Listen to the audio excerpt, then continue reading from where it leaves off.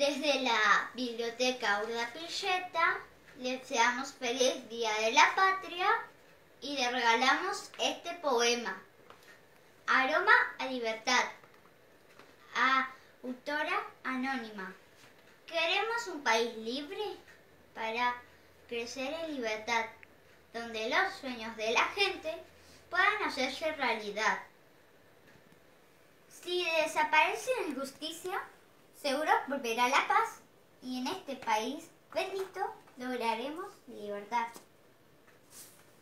Digamos chau a la violencia, digamos chau a la maldad, digamos hola a la justicia, digamos libertad. Para decir lo que pensamos, para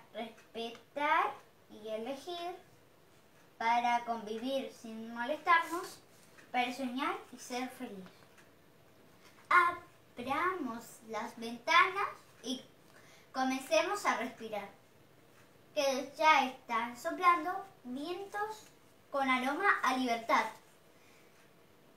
Seamos como los pájaros y cuando todo esto pase, salgamos a experimentar la aventura incomparable de vivir en libertad.